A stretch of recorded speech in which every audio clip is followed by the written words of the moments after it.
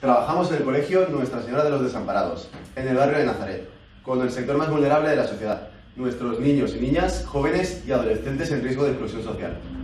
Mediante cinco programas tratamos de conseguir nuestros objetivos. 1. Formar en principios.